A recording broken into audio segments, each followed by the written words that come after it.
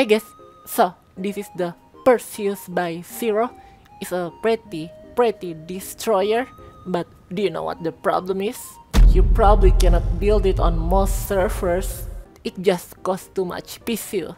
Probably has something to do with all these pipes. Well, recently, in one of my videos, someone commented that maybe Keen Software should make decorative versions of blocks. So let's say instead of, you know, having conveyor pipes that cost 15 PCU, you can have a non-functional version of that which only costs 1 PCU, just like the mimic block on from the depths. So, you know, that way people can have all the decorations that they want on their ships, but without them costing too much PCU, considering the types of players who generally play Space Engineers, I think most players would like to see that.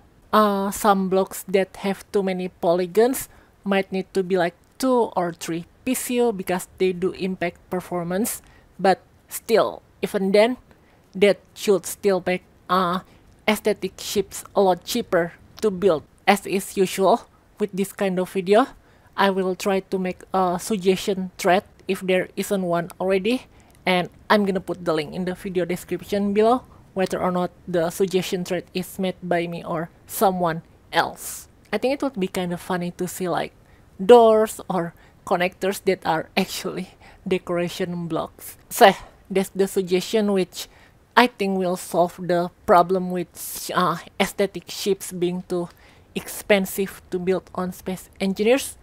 Tell everyone what you guys think in the comment section below. I kinda like this uh, whole section here.